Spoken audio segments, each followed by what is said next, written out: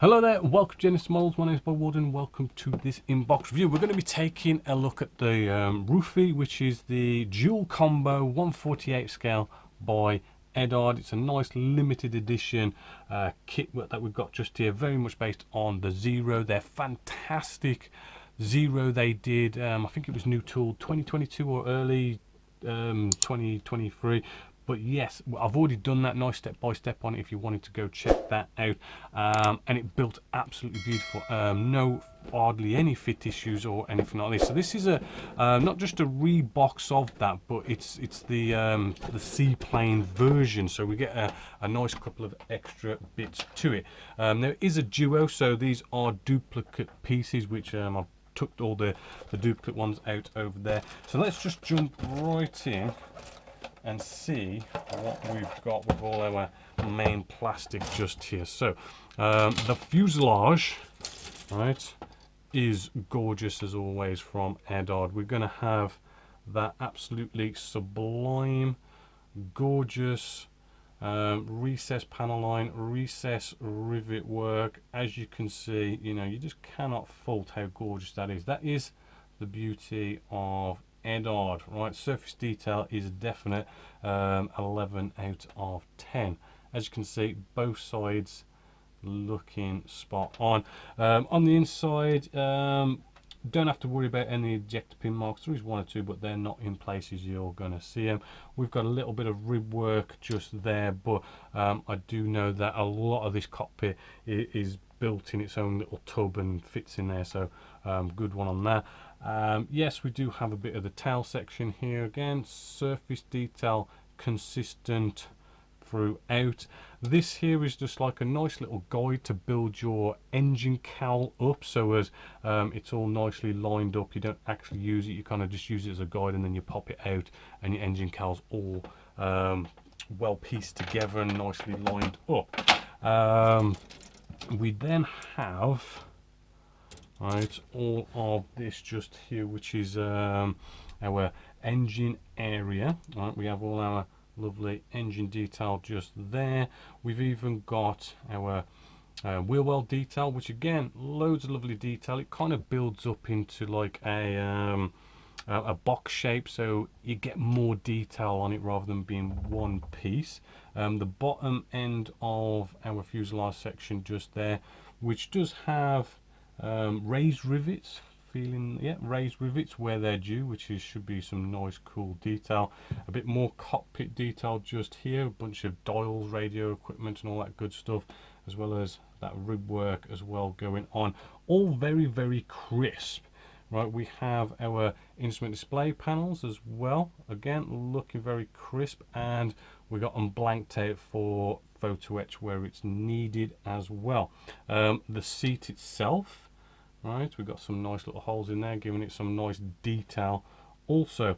Um, and yes there's a couple more little bits and bobs just on there. Where did my wings go? Ah, found them here they are. Uh, wing section oh again you just I mean just look at that surface detail. Um, it's just second to none. You cannot complain about it at all. Right? Absolutely gorgeous. Um, both top and bottom. Um, port and starboard absolutely gorgeous. Ailerons as well looking gorgeous as well. Cannot grumble or complain about that at all. Um, now this is where we come into the sort of um, the extra pieces that you'd get to make this the roughly the the, the seaplane version of the zero. And this is where we have the um, flotation. Do you know I don't even know what they're called to be honest with you but yeah this is what we have here. And again that lovely ooh, going out of focus a bit there. Sorry but not focusing right just there. But yeah same level crisp um, consistent detail throughout. Right looking good there. Um, the port and starboard um, so we say flotation devices for now. Um, again same level of detail. Along with we've got some nice free fall bombs. Right they're looking good as well. We have what else we got? Um, that's basically it on there. Not too too bad. I mean looking rather good. Um, the bottom part as well of our bit of a flotation device just there right, looking good as well. We do also get um, we've got some wheels here. This is for, it's like um, a trolley system. So as when it's not in the sea, you can have it rolling around as well, which is kind of cool because um, yes, you could do a really cool diorama with this um, actually in the sea, but if you don't, if you don't have this trolley thing, it's just it's not going to sit right. It's going to sit on its side and be all wonky and stuff. So it's good that they've included that as well. Bit more um, internal detail, right? As you can see, lovely, all sorts of dials and stuff on there. Well detailed indeed. It does build up to a very very nice um, cockpit indeed. Uh, ejector pin marks, not seeing any of them in any nasty places. Oh, we do get a, a cool little ladder as well to go with that. Um, canopy side of things, right? Um, everything is separately bagged as well, so um, just keep it all nicely together. Um, and looking at this, it is looking very nice, clear and crisp. We can even see recessed rivets and stuff hopefully you might be able to just see those recess rivets as well um, around the clear parts also uh, I'll just put up to the light just to double check right um, and yeah it's, it's looking pretty nice crystal clear no nasty cobweb effects. Um, and maybe a little bit of a scuff maybe packaging and stuff maybe. Um, a little bit of a polish up and they will be absolutely great. Um, then we have uh, a couple of little extras as well as the instructions just here. Well, first off, we have Photo Etch, um, which is really good. This is what makes sort of, again, you got the surface detail with Eduard, which is fantastic, but you always kind of get these lovely bits of photo etch to go with it, which we have seat belts, instrument display panels, all sorts of little bits and bobs on there, and we do have two of them for our duo set. Uh, we do also get canopy masks as well. You won't be able to see them on camera but we've got canopy masks on there. Looks like wheel masks as well which is another good good bonus. We do have um, two sets of stencils. Also these are you know really good. I have used them so um, I know they're good for these zeros. And you know you can see all the little bits of writing. Then we have sort of like our big marking section just just here which has all our um, roundels and stuff on there.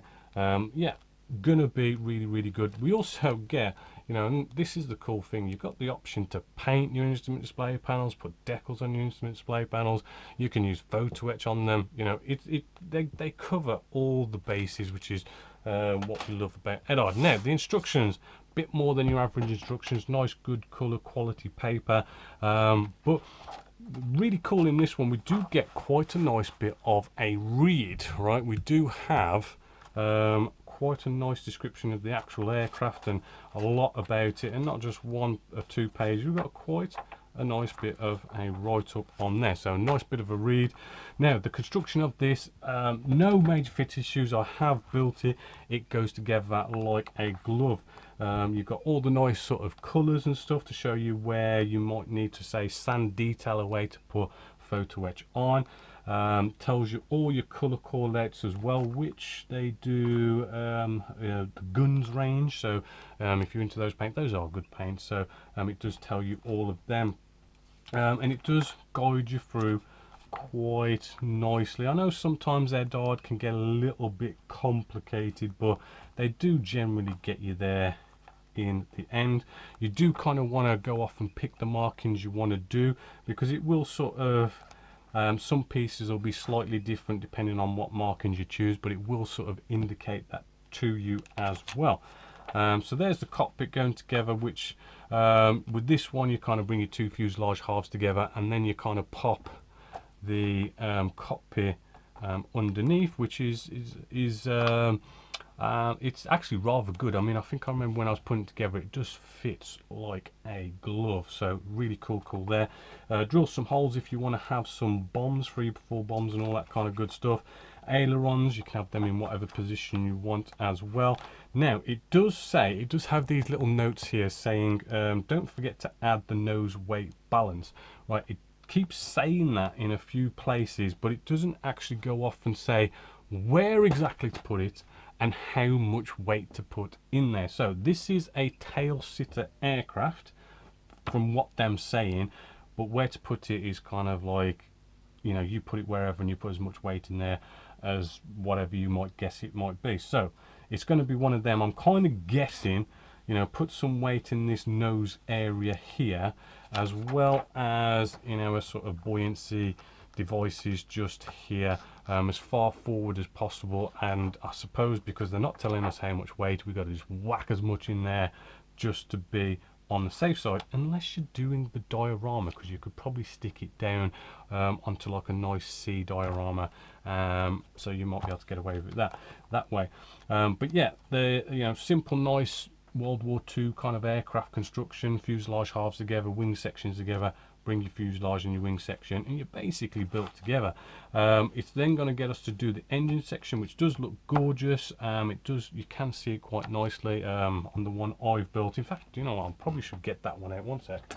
So here is the one I built. I mean yes it doesn't have all that um, buoyancy seaplane kind of added bits to it right? Um, you probably can't see in the cockpit area but it does look absolutely gorgeous in there. Really really nice nice build um, you can see all that lovely detail as well um, in the wheel wells. You could just about see our engine just in there nicely on show. I did have to put a bit of blue tack on there. Um, but yeah, back to the instructions. Yes, you've got your bombs. Um, I don't put any on mine. Um, moving along, we've got, um, see, we've got this piece, the one that you don't glue in. Um, as you can see, you can build up your um, engine cowl to get it all nicely lined up and straight which is good. Um, and then we put all this buoyancy aid stuff on there which remember you know put a bit of weight in there. As much as you can probably fit in there should be good. Um, coming in along and putting your uh, canopy on or off. I kind of had mine on. Did I glue it down? Yes I did. Uh, so I can't show you that. And then it does show you the construction of this kind of cart that carts this around when it's on the land which is nice that they've added that and it should. Uh, and as you can see from this picture just here it's what's going to make it on the land kind of be standing up straight rather than conked over. Um, then we have our masks for actually masking this off which does also look like we have wheel masks as well which is um, good because they can be a pain to spray them or uh, to paint them individually. Um, then we have the markings, which I think we've got about seven or eight markings on here. We have the kind of colours that I've used just here.